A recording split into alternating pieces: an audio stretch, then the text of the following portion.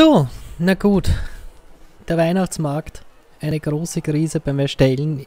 Ihr habt es ja mitbekommen. Sorry dafür. Ich dachte, ich mache eine coole, chillige Folge. Aber so ist das Leben halt. Es läuft nicht alles leicht. Umso mehr freue ich mich. Unser Weihnachtsmarkt, unser ganzjähriger, ist eröffnet und overcrowded. Bist du wahnsinnig. Jedenfalls, auf alle Fälle ganz herzliches Dankeschön an alle, die auch dieses Jahr immer wieder dabei waren, einige Videos von mir verfolgt haben, manche von euch auch kommentiert haben. Ich freue mich total darauf. Ich wünsche euch auf alle Fälle allen ein frohes Weihnachten, schöne Feiertage, einen guten Rutsch ins neue Jahr. Ich hoffe, ihr findet einen Weihnachtsmarkt, der nicht so überfüllt ist wie dieser da. er dreht auch schon um. er will nicht einkaufen. Und ich finde das urschön. Na gut, ja. Lange Rede, kurzer Sinn.